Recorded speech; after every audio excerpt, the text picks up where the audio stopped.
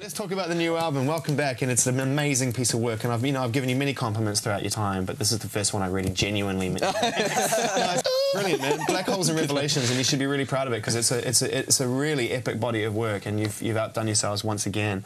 Um, when did you start thinking about making the, making this record? I mean, was it during the touring of, of Absolution, or was it? Did you give yourself a break afterwards? How did it work?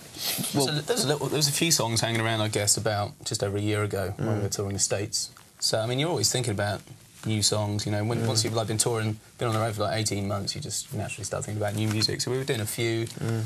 had a bit of time off, but really it was like last summer we were working on songs. Hungry to get back into it. I wondered how you were feeling at the end of that tour because I mean you played your biggest shows ever and probably did you know you did you know an atypical large amount of touring. Yeah, yeah. standards. Yeah, it's pretty, pretty, pretty knackered towards the end, but. Uh, but yeah, I think, I think we, you know, we wanted to take a big break. Uh, well, we, we, ended up sort of using the whole break to make the album. You know, it yeah. took a long time to record. About maybe the longest recording process I've ever been. But, but I think I think like a good two months of that was kind of half holiday, half yeah. making music. Just having fun doing it. yeah, yeah, and it's because we had, you know, it's the first time we made an album without any any kind of uh, big schedule booked in front of us. So we kind of we felt like we had all the time in the world, which we, we yeah. did, and we used most of it. And, uh, it was, uh, but, but, towards the end of it, we sort of realised we had to kick our asses into gear if we wanted to get if we wanted to get the album done in time to be able to play Reading. Yeah, yeah. was so, yeah. so we, we, we, booked Reading towards the end of last year, and that kind of. Oh man, you're brave.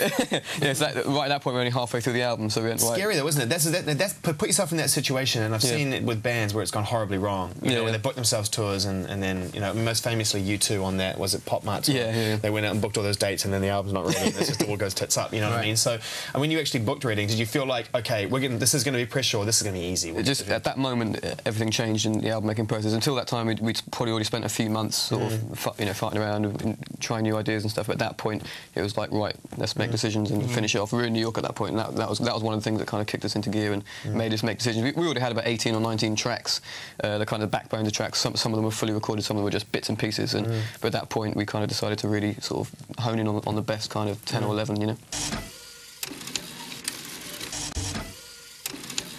Do you think it worked for you in hindsight, the idea of actually doing a record, like you say, without any kind of schedule pressure or any kind of that kind of stuff, and, and having somebody go, hey, you've earned the right to take your time and make I think, I think it's good to write, write that way, you know, and, and sort of put the songs together that way, but I think sometimes when you're in the studio, it's good to have a bit of pressure, I think, because mm. otherwise you'll waste a, you know, cash.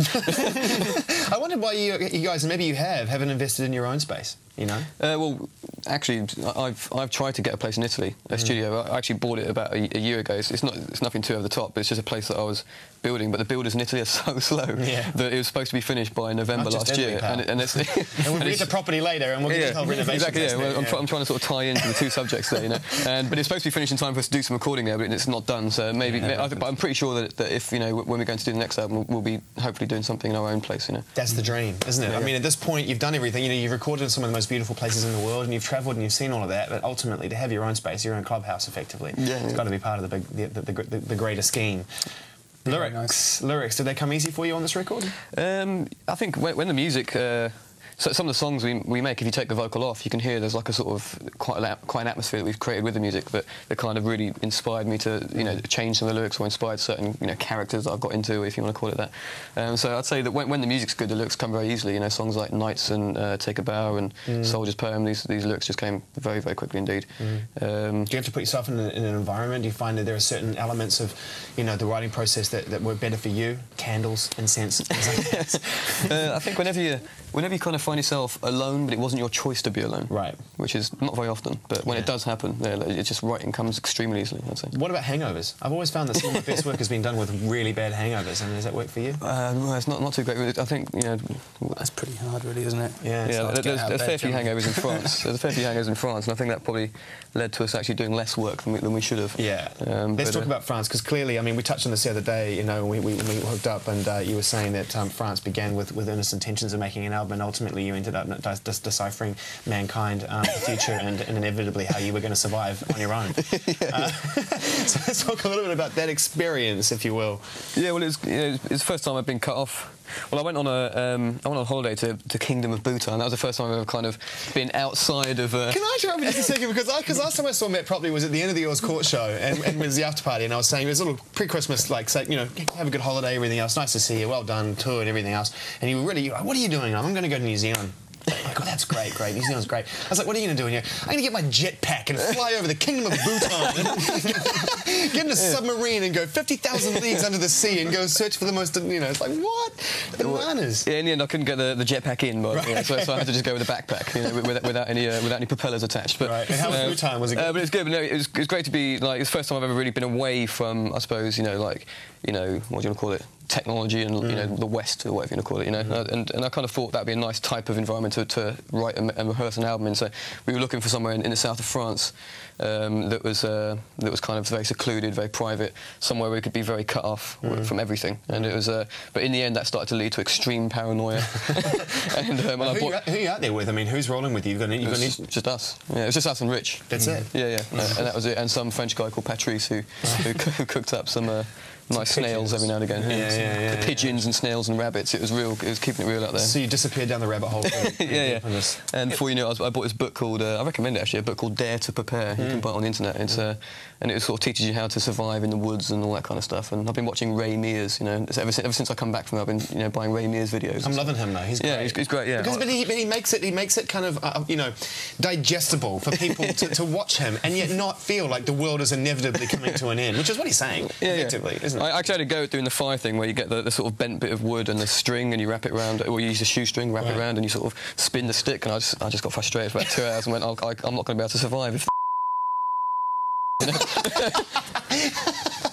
I love it. I'm going to go sit in the middle of the street and on my computer with my juicer, my toaster, my microwave oven.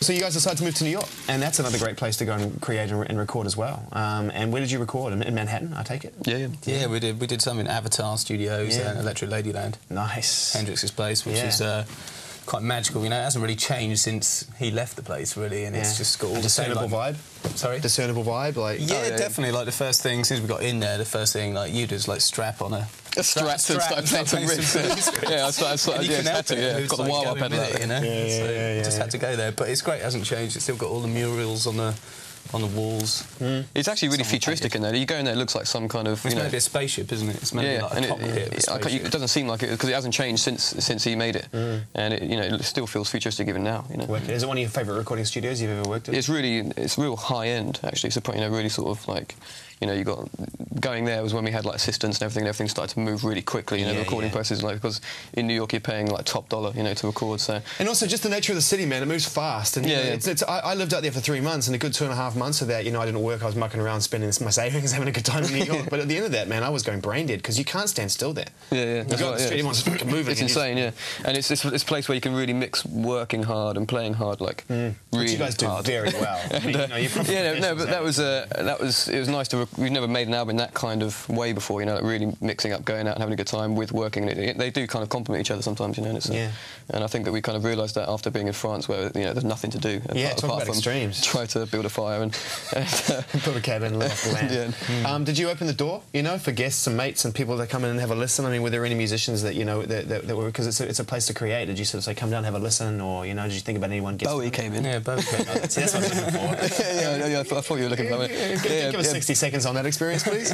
Yeah, Rich Costey was uh, was kind of having a few phone conversations with Bowie about possibly working on an album with him, but and Bowie said, "I don't mind coming down and listen to what we're working on to see see if he's into it." And came in and. Uh, it's pretty, it's pretty nerve-wracking to meet him. Yeah, he's a really nice guy. Right. So Uh, you, he- were the, you were the demo tape effectively for Costey to go. right, That's yeah, pretty intimidating. Yeah, I think I think Rich was probably the most nervous. Yeah. but uh, It's a bit embarrassing, really, because we tried to play him a song and it just wasn't ready, and I think we're just Oh, like yeah, yeah, working we- on like the Take a Bow, actually, yeah. take Yeah, a bow, yeah. and it like it wasn't there at all. And Yeah, it was like- attempted to like knock it up on the board, and it was like, oh yeah, it just sounded God. rough. Yeah, It's like- no, no, we played him Invincible though, and, uh, and that was that track was inspired by probably some of his early stuff, and I think uh, he, liked, he liked that one a lot.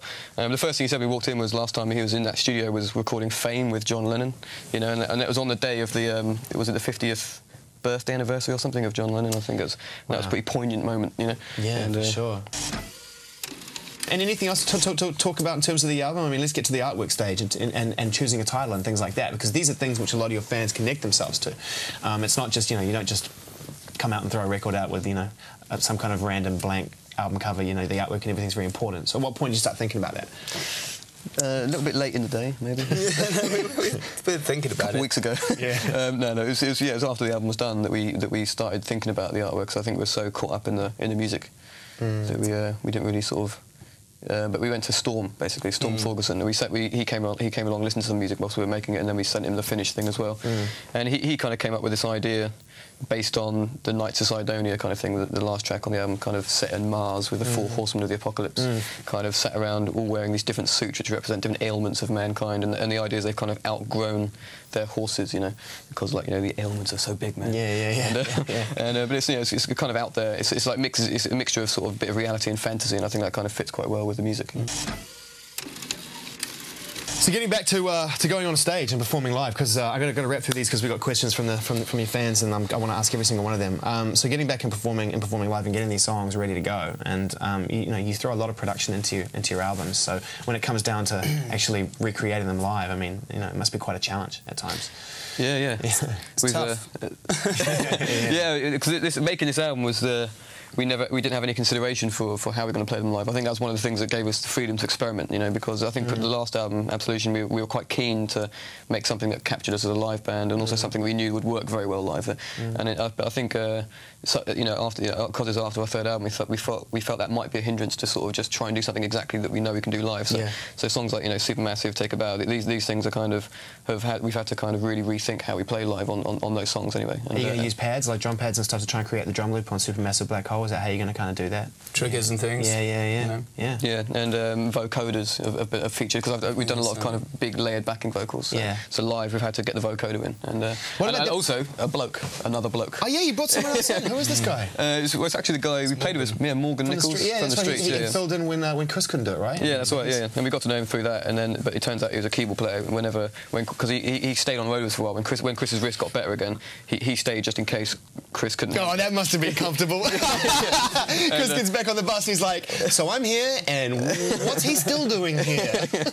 and, uh, and Chris was playing with his cast on. I think Right. I was actually touring Australia, weren't we? Yeah. And, uh, and and and Chris was playing, but Morgan was kind of hanging around, not doing anything, and he, and he kept trying to sort of play the keys and get involved on the keys, and we were going, yeah, "Come on, not we're quite ready for that yet." But um, but you I know, love it. Was he really? I I love the fact that this guy is actually sitting there going, "You know what? I'm just gonna if I can just muscle in quietly, maybe, maybe they'll forget that I'm still here after five years."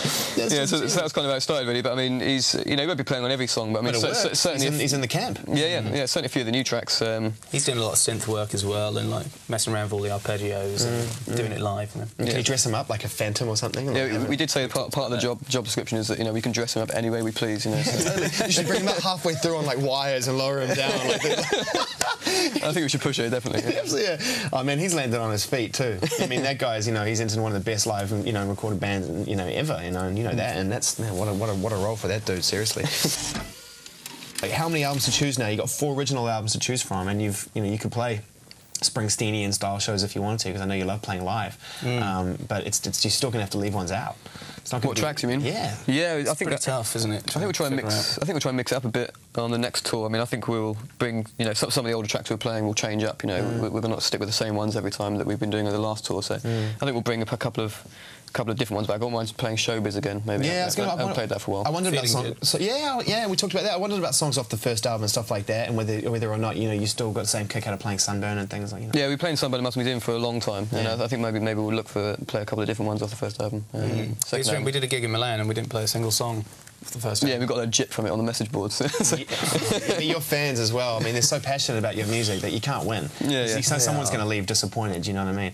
Is there a particular favourite from the back catalogue that you know when it kicks in, you always? I mean, I know I always like hearing you play Stockholm Syndrome, but I'm. Yeah, yeah, yeah. We'll, we'll always, yeah. That, That's that's, always, always a live favourite. That one, yeah, yeah. I mm. think that'll always be in there.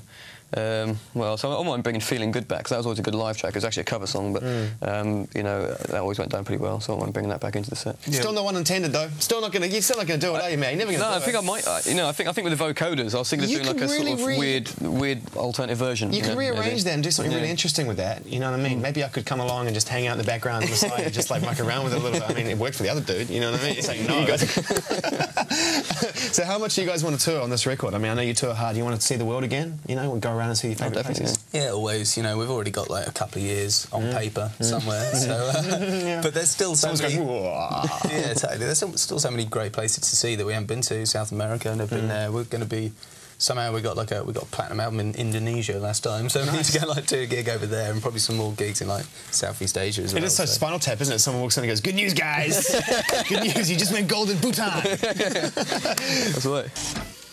Let's get some questions from the planet for you, because we're going to be talking videos pretty soon, going through your, your, your videography as well, which I'm going to be hosting, Wow. which is going to be fun. uh, okay, this one's from uh, Malali. Supermassive black hole is fantastic, uh, but do you deliberately write innuendos in your songs, or do they just happen? And making references to uh, Cave, Forsten, Sober, Hate This, and the list goes on. Uh, you know, it happens accidentally, but you know. You crack yourself up sometimes when you Yeah, I mean, lyrics? you know, supermassive black hole. I mean, the first treatment we got for that Yeah. was a load of large ladies. Um, oh, that's inspired. yeah, the, the first treatment was a load of large ladies sort of booging on down, you know, and it was supposed to be a whole like large. I, I don't need, I'm trying to be polite. Large ladies video. I mean, the connection is there. It's okay, yeah, yeah. don't do any and further. supermassive black hole. I thought that was pretty uh, risky to, That's do, pretty to make a that's video pretty like funny, that. Yeah, It's pretty funny. Um, but yeah, it wasn't actually. Uh, it wasn't necessarily intended to be that way. But of course, the song was does have a sort of. Mm. There's a bit of talking about relationships in some way. So yeah, you could easily draw an innuendo if you wanted to. Yeah, but it wasn't intended though. You must have fun recording that as well, getting in the falsetto in and having because it's, it's there's a, there's a, there's a boogie.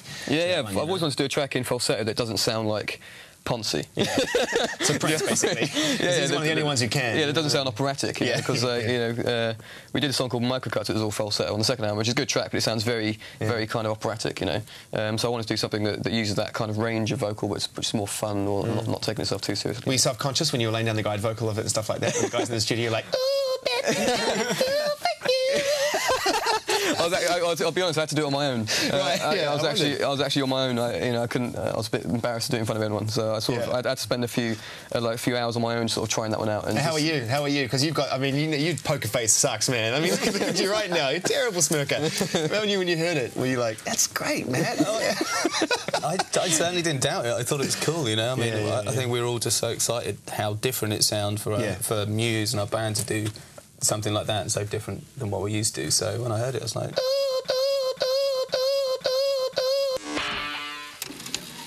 This one from Sneebs. Uh, have either of you ever been shocked, confused, or bemused by things that fans have written on your message board? I mean, I don't know if you read them or not. But quite quite a lot of it. Yeah. is quite uh, is quite. I, I- I don't I don't spend too much time on there, um, but yeah, when I do read it, you find yourself sort of reading like these long, deep discussions about my haircut. it's like it's like you know before you know it, you're sort of going on. a I've lost it here. What's going on? you know, it's, it's sort of uh, you can get riddled with uh, self doubt and syphilis if you spend too much time. on and, how much, and how much do you spend on your hair, Matt? Uh, me, not much at all, actually. In fact, I need to get it cut. In fact, we've got we've got some guy coming to meet us at this Jonathan Ross thing later on to uh, cut my hair, but I don't think it'll cost much, about 50 quid. Or Yeah, right. You know what these guys work with, man. Look at them. Let's collaborate. It's, it's going to be like, you know, Isaac Mizrahi or someone. All right, this one from Randy Poirot. Is it true that you wouldn't let Nescafe use your song on an advert?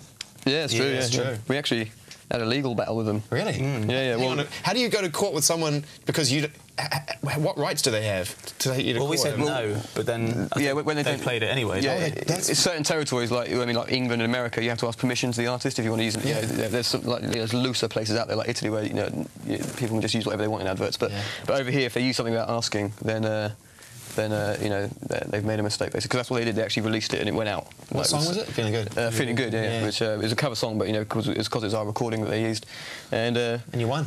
Yeah, we won. We won 50 grand, and we gave it. We gave it all to charity. so- Good, good for yeah. you. Have you seen, like you said in Italy or any other places around the world, your music being used in like ads or promos that's made you laugh? Do you know what I mean? Uh, there's, there's, there's a couple of suspicious perfume adverts in Italy that I've seen. that- that- and I, I, I don't know does why they not keep, surprise me? They keep, getting, yeah, they keep getting used for perfume, and I find that a bit on the edge. You know, in fact, in fact, it was actually microcuts. Was it? Yeah, with- with- maybe that was what Don't got, made me paranoid about the, uh, the falsetto.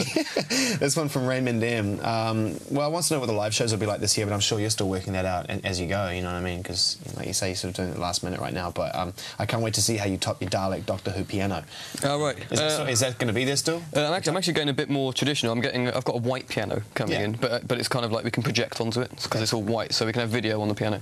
Um, but but also the set's going to be quite white, including I think we're going to be quite white. Great. Uh, so we, so you can project on the body. So we've got we've got these kind of moving projectors. Wicked. That, that you can sort of so we, we can come out and we've got these projectors that can film infrared Hmm. and, and and project at the same time. So you can like we can come out in the pitch darkness and and you can just see like projections of us in infrared. That's sort of rad. Shuffling around. Ourselves. That Yeah, is yeah. rad. That's Yeah. cool. All right, this one from Buttercanes and Hurriflies, probably my favourite fan of yours, and also my favourite question. Uh, if you were to wake up and find the other two band members were in fact female, we'll, we'll, we'll direct this in that. okay. then which one would you most fancy and why? Oh, God, that's just that's just a bit Well, do you strong. want to help you out? I mean, down. It's a I bit, mean, it's a bit too early for that. you know? Chris, is, Chris is Chris is you know he's the bigger lady. You know Wait, he's, wait, the- wait. he's he's got shoulders. Oh God! There's nothing wrong What, with I mean, if they look like that, there's no chance. You know what I mean, if he comes, he's wearing that silver jacket. I just, I couldn't, I couldn't handle that. No, I mean, they'd have to, you know, they'd have to be, uh, you know, have a, a slightly better, better haircut, I'd say. You know. Yeah, yeah, yeah. But, uh, but no, it's a bit strong for me this, That's ti- harsh. this time in the morning. I How think. turn on you like that? It's crazy. No, if he was a We've girl, if he was Oh, a as a girl, girl, right? a girl, yeah. But, I'm that, but that haircut could I look like girls with long hair, you know. But look, could, look, could look quite good on it. You know, it's kind of got that kind of indie androgynous vibe going on. Right, right, right. I'm seeing it. You just don't do that. For, I'm this one from Tag You're It. Oh, I'm not going to go into that. That's a Pete Doherty thing. Apparently, described you as mediocre at NME Awards. Did you even hear about that? Who- That's Pete, just- Pete Doherty said that. Yes, which is like exactly right. Okay, uh, Bionic Bunny. Matt, apart from saying the alphabet backwards, can you do that? Yeah, I can. Yeah. I haven't done it for a while. Wait. it. Oh God, Z Y X W U T S R Q P O N M L K J I H G F E D C B A. There you go. Yeah. There's bananas. Oh, come on. No, no, I'm serious. I can't do that. I can't get past. That's the only thing I can say backwards. Though. It's like, you know, it's, I don't know why I learned that. Some, you know, some tried to impress someone in school when I was five. or something, you know? what scares me is that this person knows you can do it. Uh, any other hidden talents within the band? Anyone else? Any other party tricks? Oh, blimey, party tricks. Well, I mean, Not this I've, time I've in the seen a morning, few, no. but they mainly involve alcohol. But uh, yeah. All right, this from 1943 Spitfire. Um, the piano interludes in the live shows. Have there any plans to release, you know, you know, an EP primarily using that as the main instrument? Um, I know it featured heavily on Absolution, but There's the, the piano thing is kind of is, is taken a step back on this album. I think I think that's one of the things that helped make the ma- maybe it's being an Electric Lady because mm. all the songs on the album are kind of guitar based mm. or songs that are written from the guitar. Um, and there was a few piano tracks which were really sort of you know like the piano solo in the middle of Butterflies and Hurricanes. They, mm. they, they kind of all sound like that, but like for five minutes or ten minutes. Um, but with and, uh, and like you know Dom was all getting a bit kind of into his timpani and it was, all- it was all just going really really kind of full on classical. I think I think that you know we could potentially do uh, something you know a whole, either a whole record or, or definitely an extended piece Mm. that was. And I think we definitely will do something like that one day. What I love is seeing you guys live at a place like Earl's Court and seeing like, you know, whatever, 20,000 people and, you know, they're all rocking out and moshing and going hard and it's a rock show and then you break into this like five minute piano and these kids are like, just like when did opera become cool, man? but it's rad, you know, you turn it around and they dig it. Yeah, yeah. I, I, I a think, fine line, I, isn't yeah, it? I think we could do something based around that one day. I mean, whether or not it could be the basis of a whole album, I think um, it could definitely be like yeah, an EP, mm. an EP or something. Yeah. And there was a string quartet tribute to your music as well, wasn't there, that was released? Yeah, there was. Yeah, yeah. Did you ever hear that? Yeah, yeah, I heard bits of it. Was yeah, it yeah. nice? It was. Uh, yeah, yeah. I heard that. It was in Holland or Belgium or something. Yeah, it was in Europe. Yeah, Somewhere yeah. someone kind of pulled it in. Yeah, it was good. You're yeah. not feeling it? Yeah, it was all right. I haven't heard it. Right. To be honest. no, it was all right. No, I saw this. There's this group called Apocalyptica. You should check them out. Apocalyptica, who like who do like they're like four cello players, and they do like Metallica covers, and it's like full on. Right. It's like they put distortion pedals on. They're all like moshing with long hair hanging down like this, and it's like I think I've seen that. I think yeah, I've yeah. seen that it's like the peak of kind of cool and embarrassment. At the same time, it is, and as you said, it is a very fine line. Uh, we got time for one more. Nah, let's wrap it up, man. Let's go downstairs and talk about some videos. It's good to see you, man. Thanks for coming in. Cheers, thanks for having nice us.